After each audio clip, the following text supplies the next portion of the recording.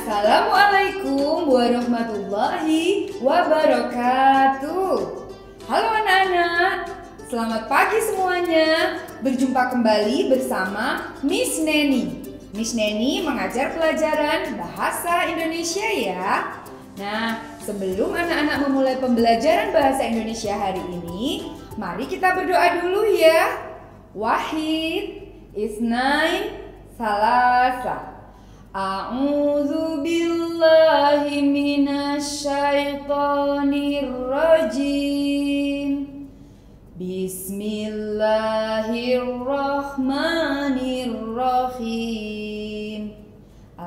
Alhamdulillahirabbil alamin anak-anak, kita sudah berdoa. Nah, hari ini kita akan belajar tentang menulis menggunakan huruf tegak bersambung.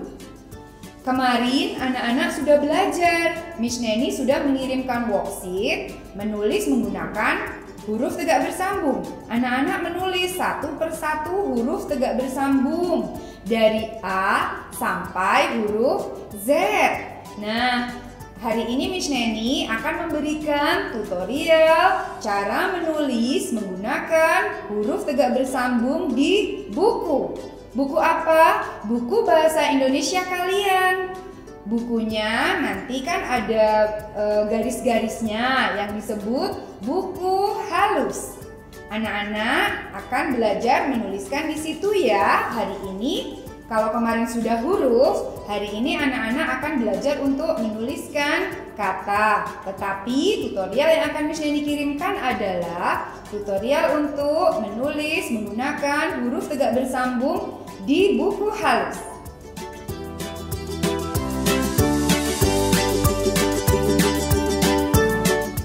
Halo anak-anak, di buku bahasa Indonesia kalian, ini kan buku halus. Nah, di buku halus ada beberapa baris ya. Ini baris yang terbesar, ini Miss Neni beri nomor satu. Baris yang kedua, Miss Neni beri nomor dua, ini paling kecil.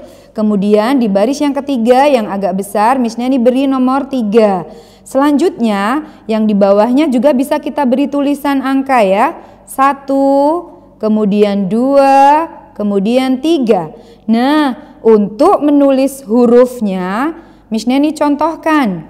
Huruf A, nah, kemudian A, ini yang A kapital, yang ini A kecil. Nah, nah Huruf A ini hanya ada di baris yang satu dan dua yang kapital. Sementara huruf A yang kecil ini hanya ada di baris yang kedua saja. Baris ketiga digunakan untuk apa, Miss? Untuk menulis misalnya huruf Nah, ini adalah huruf A sampai Z yang sudah Miss Neni tulis di buku halus. Lihat, ini di baris 1, 2, 3. Nah, ini tadi huruf A kan sudah Miss Neni beritahukan. Sekarang yang B, B juga sama. Ada di baris 1 dan 2 saja, baik B kapital maupun kecil. C, C juga demikian. D, E. Nah, ini huruf F, F kapital di 1 dan 2, di baris 1 dan 2. Huruf yang kecil ada di separuh baris yang nomor 1 ini. Kemudian tangkainya yang bawah di separuh baris yang ketiga ini. Nah, lanjut untuk yang G. 1, 2, 3. Huruf G kapital ini kepalanya ini yang melingkar sampai di satu dan dua penuh. Kemudian tangkainya ke bawah ke full atau penuh di baris yang ketiga. G kecil di baris yang kedua ini, kemudian tangkainya penuh di baris yang ketiga. Yang H seperti huruf B, A, C dan lainnya itu tadi hanya di baris satu dan dua. Nah ini yang I, ini huruf I. Nah kemarin Miss Neni ada revisi ya. Huruf I, di sini revisinya huruf I kapital di satu dan dua saja. I kecil hanya di baris kedua. Kemudian yang J, ini ada revisi ya, J kapital tidak ada, Miss Neni tulis di sini. J-nya dari atas sini sampai ke bawah tiga sini penuh, lalu tarik ke sini. Yang J kecil baru dia di baris kedua dan ketiga. Huruf K, huruf L, huruf M, N, dan O hanya ada di satu dan dua saja di baris satu dan dua. Nah ini untuk huruf P, P kapital hanya di baris satu dan dua, tetapi P kecil ini ada di baris ini. Nah untuk huruf kecilnya hanya ada di dua ya, ini di baris yang kedua ya. N, O.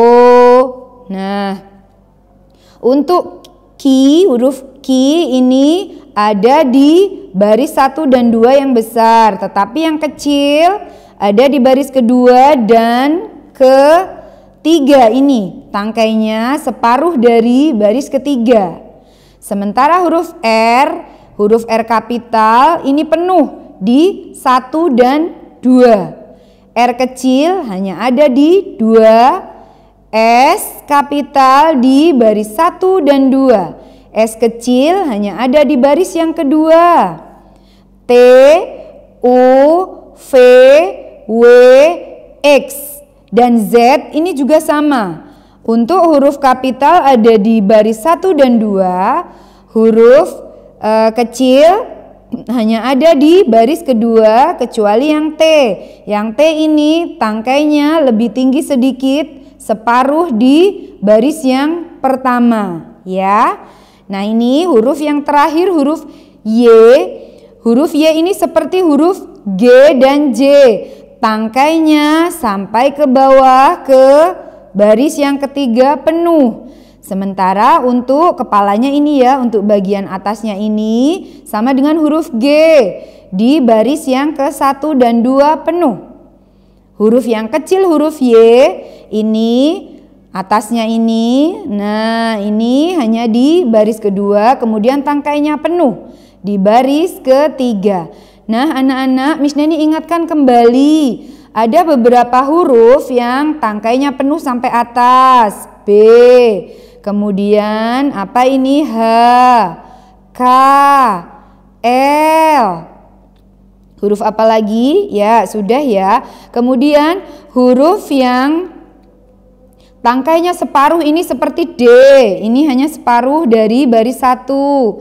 Kemudian F, ini tangkainya juga separuh ini yang atas, yang bawah ini separuh.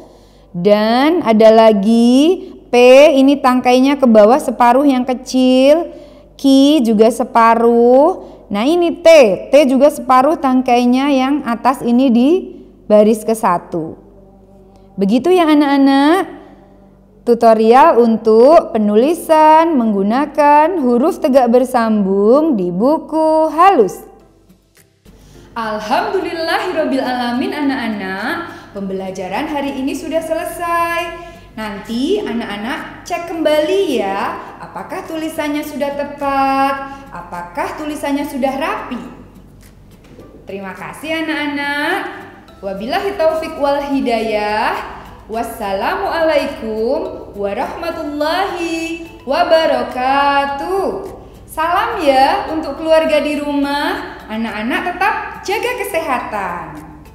Dah.